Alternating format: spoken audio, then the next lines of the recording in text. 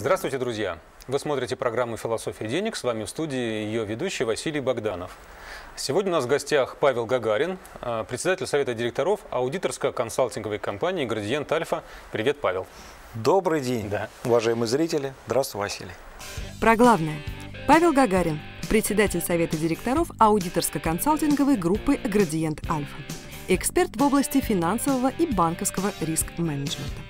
Аудиторско-консалтинговая группа «Градиент Альфа» свыше 15 лет оказывает профессиональные услуги в области аудита, юридического, правового, финансового и IT-консалтинга. По данным рейтингового агентства «Экспертра», «Градиент Альфа» входит в число крупнейших аудиторско-консалтинговых компаний России.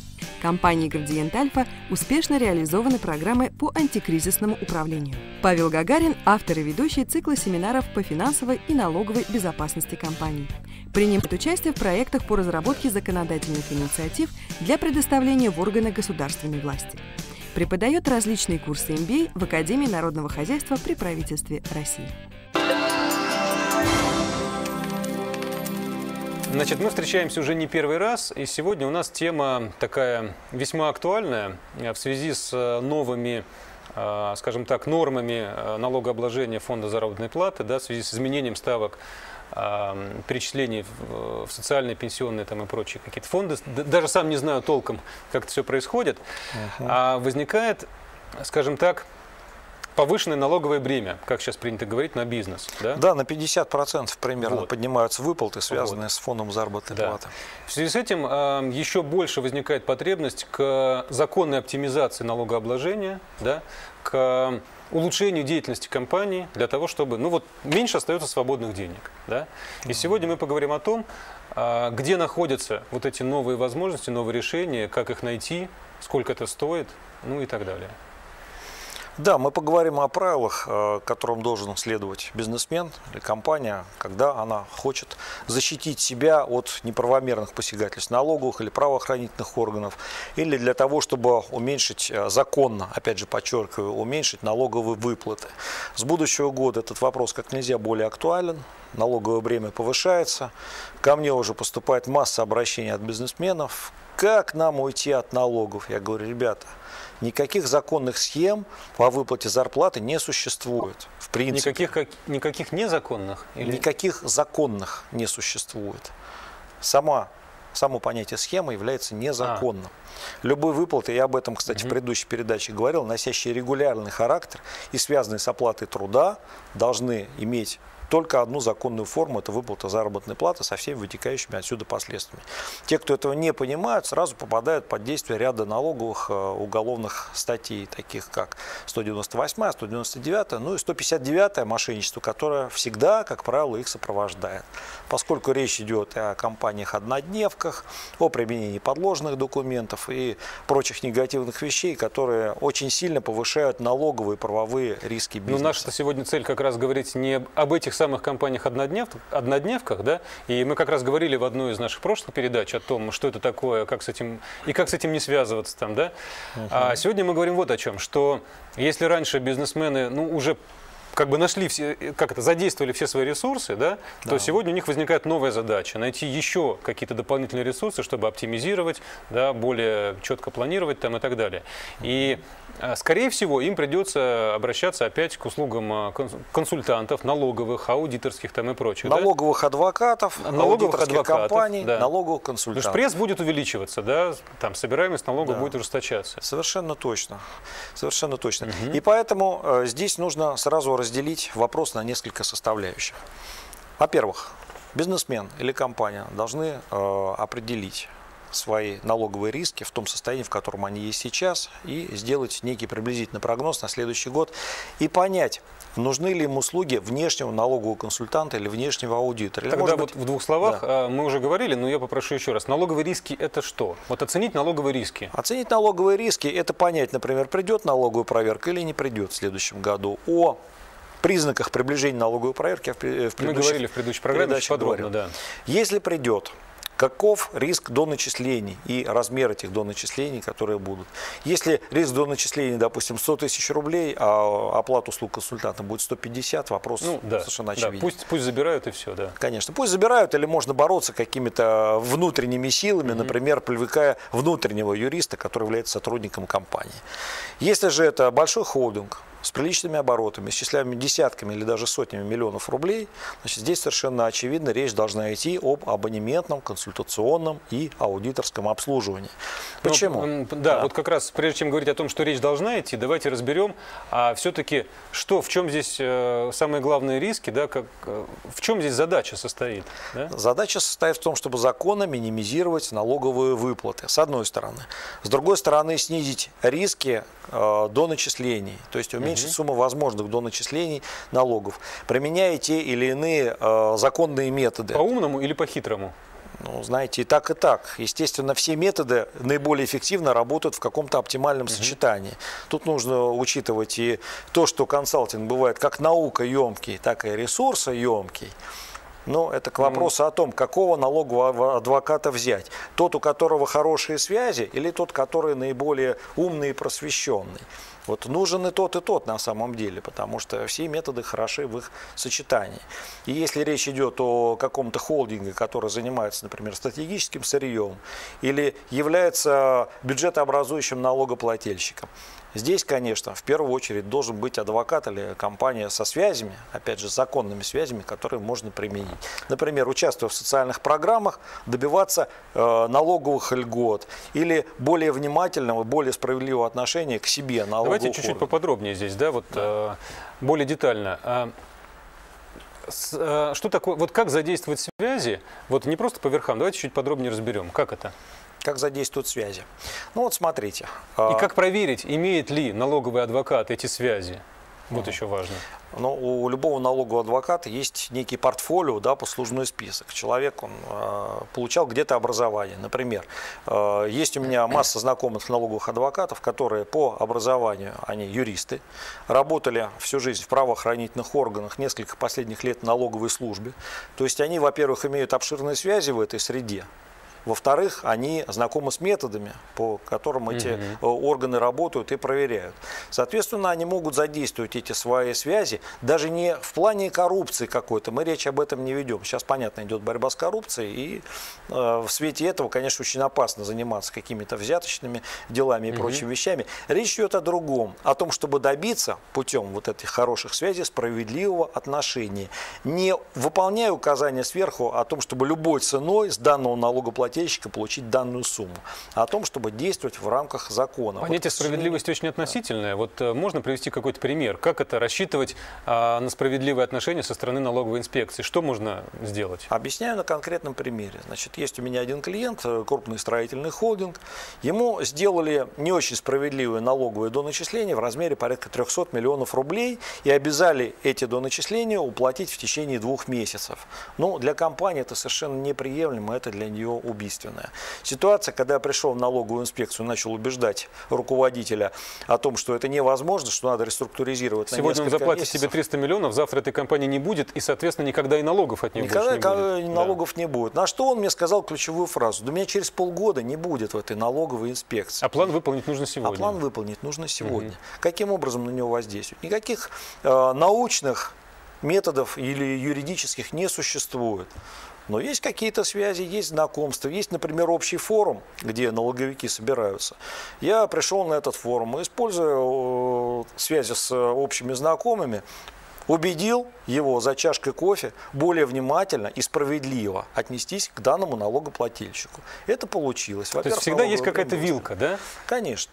Вот, вот как раз в, в размерах этой вилки и заключается понятие справедливости. Да? Можно да. применить одну статью, можно применить другую. Там, да? Можно применить да. один метод или другой. Отнести расходы туда или сюда. Да, да то есть это понятийный такой угу. момент, он нигде не зафиксирован ни в налоговом кодексе, ни в каких-то других законодательных актах. Это именно обычай делового оборота. Как поступить по справедливости. Вот как русские купцы, там, так сказать, купеческое слово. Угу. Справедливое слово, честное. Вот так же примерно и здесь. То есть э, уповаем на честность и справедливость в данном случае. А вот вы еще упомянули там э, какие-то социальные проекты на себя взять, да? Да, конечно. Вот э, тоже была ситуация в регионе. Одно предприятие ждало налоговую проверку, причем из вышестоящего налогового ведомства пришло указание взять с этого предприятия все, угу. негласное указание, но оно поступило. Налоговики признались в этом в частной беседе. И предприятие лице своего руководителя, ну и в сопровождении э, моем пришло к руководителю данного региона и сказали, смотрите, мы участвуем в социальных программах, мы построили огромное количество детских площадок, мы помогаем детским садам, мы помогаем угу. фонду ветеранов. Пожалуйста. Если завтра с нас возьмут все, то да, вот то это мы не сможем этого угу. делать, все это закончится. Пожалуйста, свяжитесь с налоговиками. Мы понимаем, что они не в вашем прямом подчинении. Ну, но просто попросите их, да? Можете оказать на них влияние какое-то, хотя бы моральное. Попросите к нам отнестись по справедливости, а не по указанию сверху.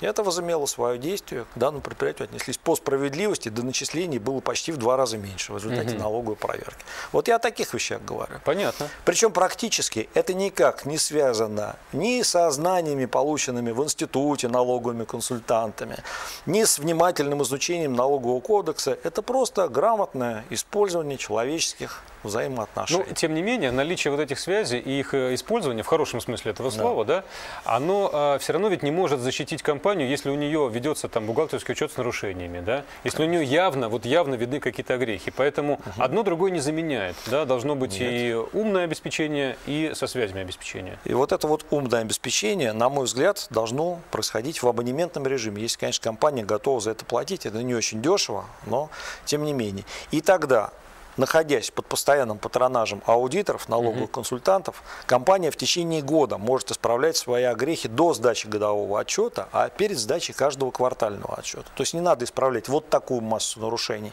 раз в год, а потихонечку, раз в месяц, раз в квартал, исправляется и более благоприятная картина для налоговой инспекции. Можете привести какие-то конкретные примеры, вот, ну, яркие очень такие, да, чтобы можно было понять, а что это такое, что это могут быть за нарушения, которые можно исправить а, задолго до того, как они станут очевидными налоговой инспекции? А, ну, например, очень простая, банальная ситуация. Главный бухгалтер которая э, делала вид, что работала, на самом деле она не сдавала отчетность. И вот компания к концу года подошла с несданной отчетностью за целый год. Ну, а директор же подписывал каждый А директор подписывал, там, да? но это были липовые балансы. Угу. Директор обычно не вникает. Он обычно не в курсе того, что делает главный бухгалтер. Угу. В этом смысле главный бухгалтер может, конечно, такую свинью директору предложить, что мало не покажется. А это бывает только в малых компаниях или в средних и крупных это тоже? Это и в средних, и в крупных бывает, потому что Ужас. бывает даже бухгалтер грамотный. То есть он это делает не от безграмотности, а от желания отомстить, насолить, потому что у них с директором, например, плохие отношения. Это, кстати, тоже одна из рекомендаций. Директор и главный бухгалтер должны идти бок о бок, потому что на скамью они могут сесть на одно и то же. Понимаете, как а директор будет нести гораздо большую ответственность, угу. чем главный бухгалтер. Хотя фактически идеологом составления данной отчетности, использования каких-то незаконных схем э, является именно главный бухгалтер. Поэтому, во-первых, они должны дружить.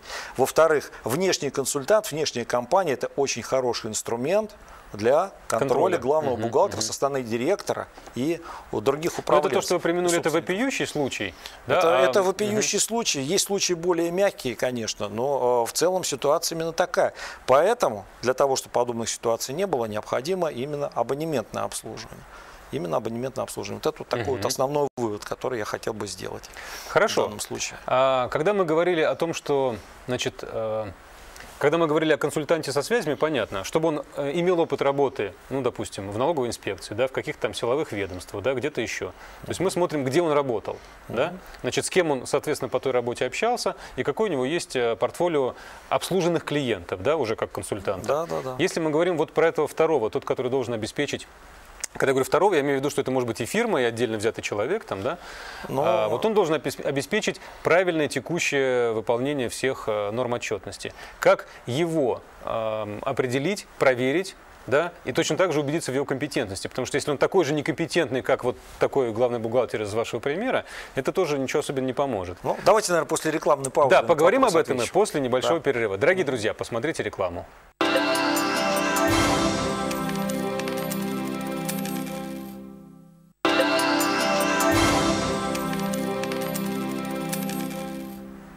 Дорогие друзья, снова здравствуйте. Мы продолжаем программу «Философия денег». И у нас в гостях Павел Гагарин, председатель Совета директоров аудиторско-консалтинговой компании «Градиент Альфа».